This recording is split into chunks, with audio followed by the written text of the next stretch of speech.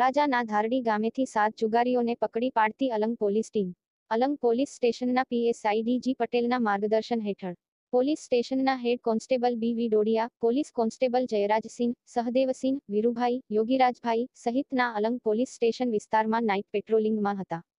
દરમિયાન ધારડી ગામે જૂની વાડી વિસ્તારમાં જાહેરમાં જુગાર રમતાની બાતમી મળતા ટીમ ત્રાટકી હતી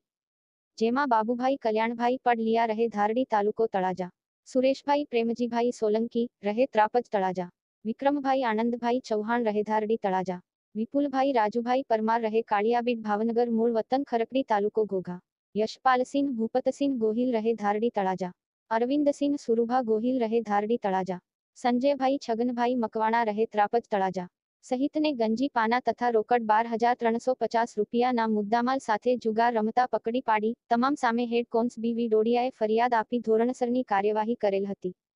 આ સમગ્ર કાર્યવાહીમાં અલંગ પોલીસ સ્ટેશનના પીએસઆઈ ડીજી પટેલની સૂચના મુજબ, head constable B V Dodiya, police constable Jayrajsinh Chudasama, Sahdevsinh Parmar, Virubhai Parmar, Yogirajbhai Ladhva સહિત જોડાયેલ હતા શકુનીઓમાં ફફડાટ ફેલાયો હતો. રિપોર્ટ મથુર ચૌહાણ તળાજા.